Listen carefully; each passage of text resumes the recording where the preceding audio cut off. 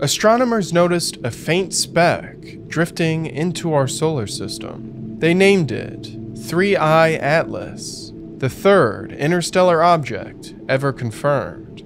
But this one refuses to behave like a comet. Its orbit slides almost too perfectly along the plane of the planets. Its light burns brighter than it should, yet its tail is nearly absent. And inside its haze, telescopes detect a chemical fingerprint that doesn't belong carbon dioxide, cyanide, and nickel gas with no iron. A mixture some say looks less like nature and more like industry. Harvard astronomer Avi Loeb asked the question most others wouldn't. What if this isn't a comet at all? What if 3I Atlas was a craft? Most dismiss the idea, and yet the anomalies remain. From its uncanny orbit to its impossible chemistry, to the moment this visitor vanishes behind the sun, blind to every eye on Earth. Is Three I Atlas just another comet, or the first time humanity has watched another civilization pass by? Three I Atlas is fast, faster than anything we've ever seen wander into our solar system. Its speed, relative to the sun, is more than 130,000 miles per hour. At that pace, it could cover the distance from Earth to the moon in less than three hours. Velocity like this has consequences. It makes interception nearly impossible. It multiplies the violence of any collision. A body this size, moving this fast, carries the energy to scar planets. Such a trajectory, paired with small course adjustments, could let the object intersect with nearby planets. In the logic of the dark forest hypothesis, speed is a weapon. The dark forest hypothesis is a thought experiment in cosmic paranoia. Imagine the universe as a forest at night, every civilization a hunter in the dark, armed and waiting. Everyone avoids making contact or calling out. No one wants to reveal themselves because no one is certain who is the prey and who is the predator. As a result, alien civilizations remain quiet to avoid becoming targets, or they are hostile and actively targeting others. An object like 3I Atlas would fit that logic perfectly. Too fast to intercept, too fast to react. An untouchable weapon or scout that could devastate before anyone even knew it was there. Astronomers counter that speed is exactly what we should expect. Only fast moving objects escape their parent stars to wander interstellar space. 3I Atlas's velocity may be extreme, but it's also natural, the price of freedom from a distant sun. When astronomers first turned their instruments toward 3I Atlas, what they saw was far brighter than any object at that distance. If that glow came from a solid nucleus alone, the core would have to be a colossus, tens of kilometers across, with some analyses suggesting up to 46 kilometers in diameter. That would make it one of the largest interstellar objects ever observed, a dinosaur killer drifting in from another star. The other option is worse in its own way. Perhaps the nucleus isn't massive at all. Perhaps the brightness comes from an unusually dense coma, a shroud of dust reflecting sunlight. But if that were the case, then where was the tail?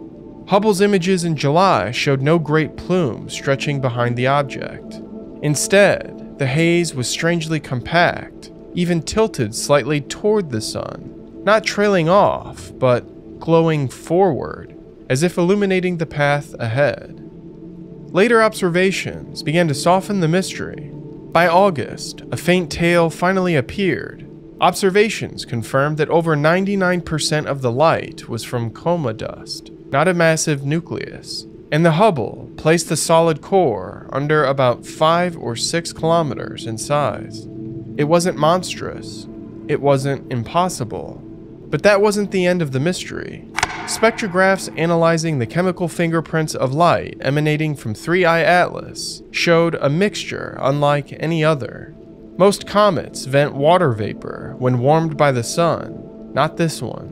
Its coma was dominated by carbon dioxide. In fact, over 90% of the measured gas was CO2. Water as almost an afterthought, a faint signature buried in the data. Then came the toxins. Cyanide gas, faint but climbing, surged faster as the comet drew closer. And most unsettling of all, clear spectral lines of nickel vapor without iron in nature, nickel and iron are twins, forged together in supernovae, found side by side in meteorites. When comets release one, they almost always release the other. But here, iron was absent. Nickel streamed freely in the void, alone. Loeb suggested that nickel without iron is a signature of industrial production of nickel alloys.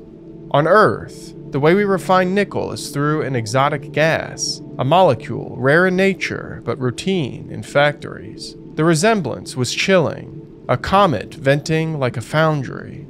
Mainstream scientists offered counterpoints. They suggested that these gases can form naturally if provided with the right materials. Exotic, but not impossible.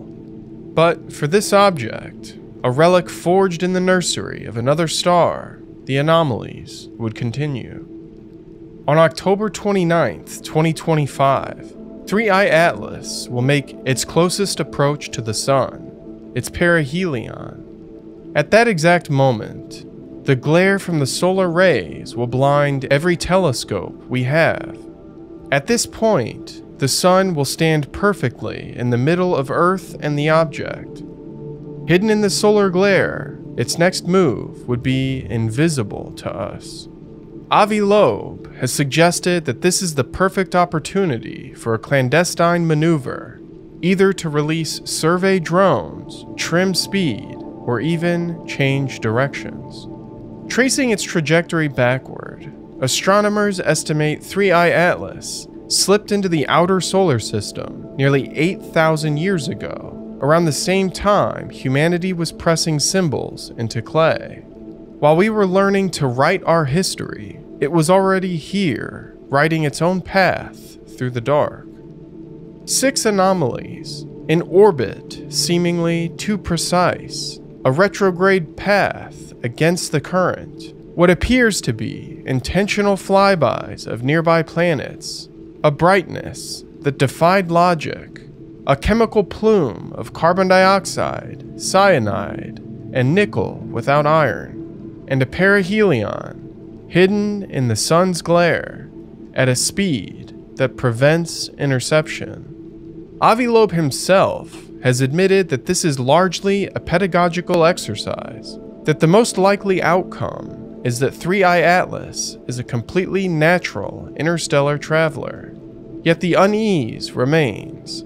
As it carves across our sky, we are forced to ask what happens the day one of these visitors isn't just rocks and chemistry? 3i Atlas will soon vanish, leaving only data and doubt, but the possibilities it stirred will linger. If the universe can send us a comet this strange, what else might be on its way?